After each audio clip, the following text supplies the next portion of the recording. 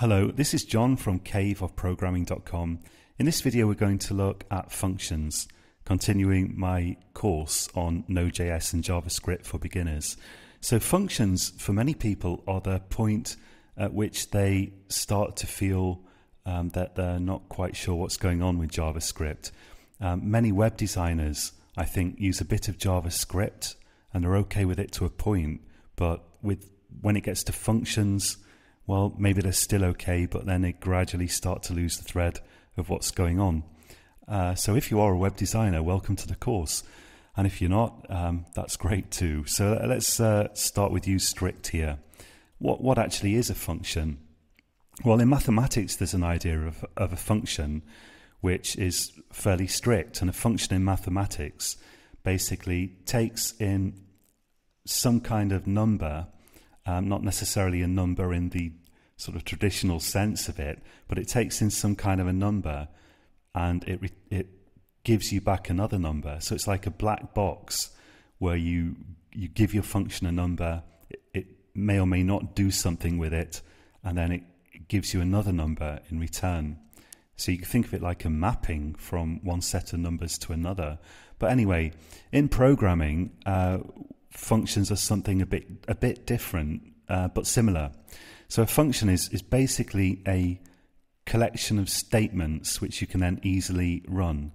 And um, functions can they can sort of accept data as we're going to see and they can give us data back. But in this video, let's just take a look at a really basic usage of a really simple function. It's just a collection of statements.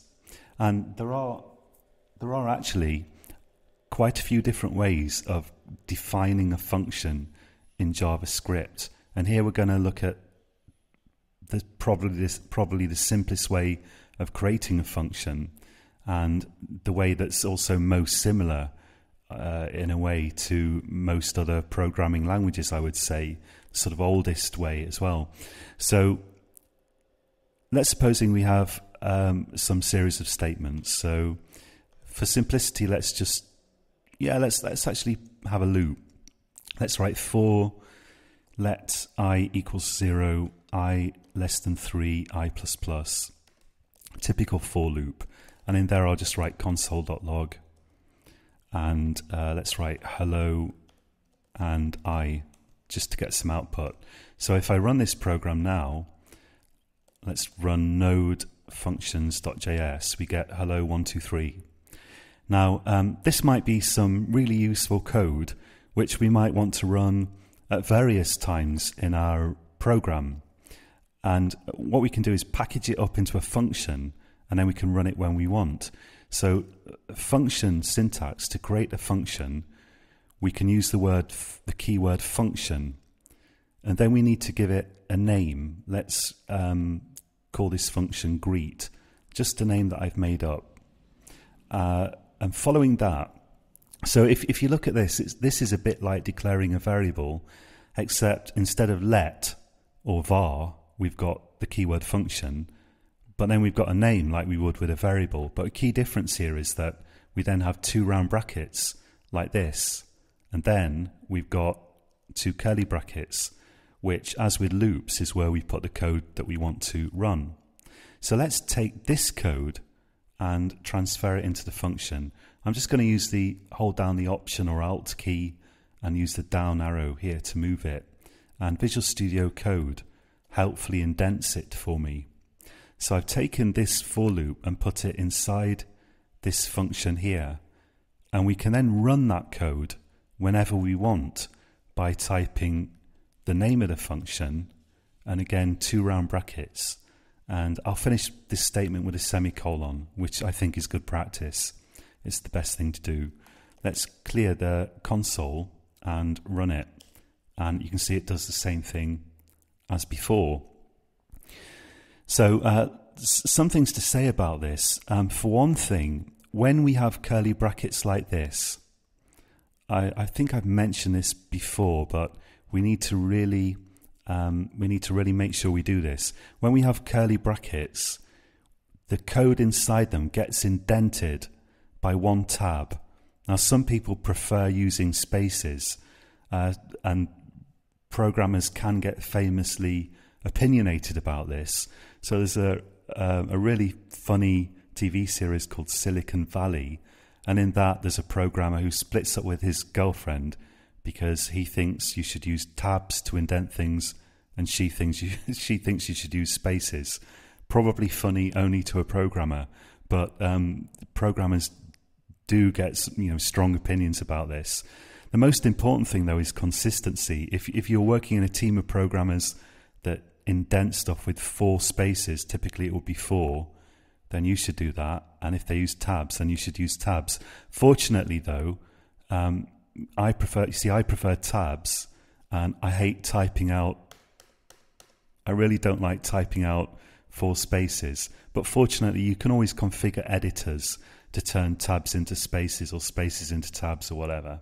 Anyway, the important thing, the vital thing here is that between curly brackets, you've got to indent um, the code that you put in there. Uh, and I'm going to say one by one tab because I like to use tabs. So within these two curly brackets, we've indented all of this code by a tab. And because we've got more curly brackets here for the for loop, this code gets indented by another tab. That's very, very important. And if you're using Visual Studio Code, you can actually um, so on, on the Mac that I'm using here, if I hold down the Option key, press Shift, and then F, it formats the code automatically for me. So on Windows, I'm guessing that would be the Alt key, Shift, and F. It might pop up a dialog asking you to choose um, a formatter, but you know you should be able to do that if you've installed some plugins for working with JavaScript. You should be able to get auto format working, so that when you press Option Shift F or Alt Shift F, it formats your code automatically for you. Um, try. I, w- I would strongly recommend trying to get that working. And you should always strive for good formatting when you actually write your code. But I, I think for beginners especially, auto format uh, is is very very helpful. It gives you a check, enables you to make sure that you have indeed formatted your code reasonably. And well formatted code is much easier to read than badly formatted code. So this this isn't just a cosmetic thing. As far as the JavaScript interpreter is concerned, formatting is cosmetic. But as far as we're concerned, it's vital.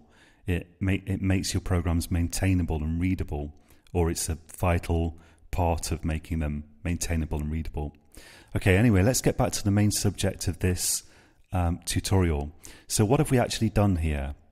So we've we've created a function called greet, and this function greet is a collection of statements. In this case, it's just got a for loop in, and we can we can then run this function greet whenever we want. So here we're defining the function. We're saying what this function does, and here we're calling the function, or in other words, we're making it actually run. So this does not run any code. It simply defines a function uh, containing this code. It doesn't actually run anything. This is what actually runs your function. So here we're calling the function, we're actually running it. If I don't put this in, let's comment it out, and I just run this program. It does nothing. Let's put it back again, and then it runs the function. Now, the, the thing about this is we can call it whenever we want in our program, whenever we need it. Let's call it again here. So I'll just copy that and there we go. Let's have another one. So now I've got, I'm running that function twice. You can imagine this is um, extremely useful. Uh, for one thing, it means that, you know, if you've got the same uh, collection of statements that you want to run multiple times, you don't have to type them multiple times, and indeed you shouldn't. You know, if you're running the same thing multiple times, put it in a function and call the function multiple times. For another thing, it's a great tool for um, making your programs just like making them more readable and making them more maintainable, sort of breaking them up into separate pieces that you can call when you need them. We're going to look at more advanced ways of uh, of arranging or structuring programs, but this is a great start. We can e- we could even call greet in a loop if we want. Then effectively would have a loop within a loop. Let's just call it one more time. So hopefully you get the idea. There we go. Um, so again, the thing is always uh, is just to practice this. Type out this, get it working, and then try to be a bit creative with it. Try to define your own function, call it whatever you like, and put some statements in it. You don't have to have a loop. You can put what you like in a function as long as it's valid JavaScript and try calling it. And don't forget, try to get auto format working. Use auto format constantly, is my recommendation. But also, try to format code nicely when you actually write it as well. Okay, so until next time, happy coding.